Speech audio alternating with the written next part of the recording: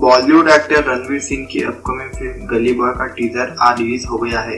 Teaser में Ranveer Singh rap करते नज़र आ रहे हैं।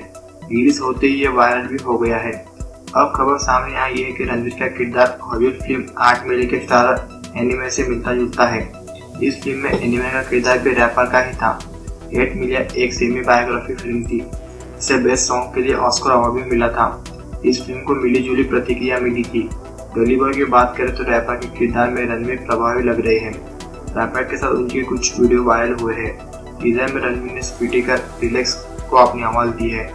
बीट बॉक्सिंग डी शायर और डी रॉक की मूवी का ट्रेलर 9 जनवरी को रिलीज़ होगा।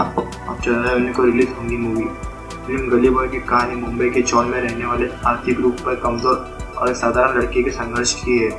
टीजर के आधार पर कहा जा सकता है कि फ़िल्म में रणवीर का किरदार मुस्लिम लड़के का है। उनके अपोजिट आलिया गेटअप में इसे पुख्ता कर रही है। मुंबई का एक लड़का है जो रैपर करता है। संभवतः आलिया भट्ट से प्यार करते हैं। रणवीर धर्म जाति के राजनीतिक लड़ाई के बीच बेरोजगारी में बड़ा सपना देखते हैं। न्यूज़ की रिपोर्ट।